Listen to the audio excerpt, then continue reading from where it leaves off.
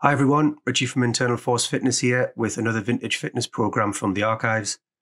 Today we have another little course that came free to subscribers of the Body Sculpture Club run by George F. Jowett, famed strongman, weightlifter, magazine editor and author. This course is the art of hand balancing and tumbling.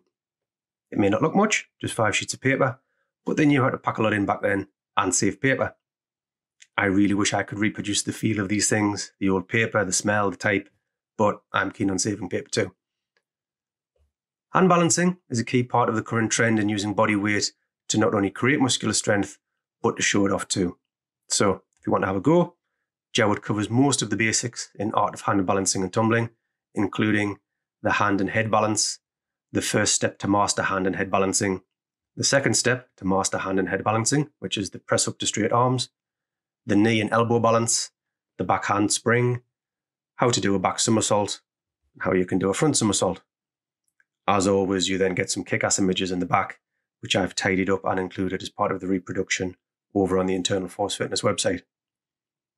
As a piece of old school bodyweight training entertainment, you can't go wrong with the writing of George F. Jowett. And even if you have no intention of taking up handstand training, this is really worth a read. If you do want to use it as a training manual, however, I think if you were to follow his instructions as written, you'd probably be doing handstand press ups in no time. That said, of course, please be very careful when trying these exercises. Personally, I avoided handstands and forward rolls, as we called them, like the plague when I was a kid, as I had some weird fear of breaking my neck. But some 30 plus years later, I'm giving them a go again. See you next time.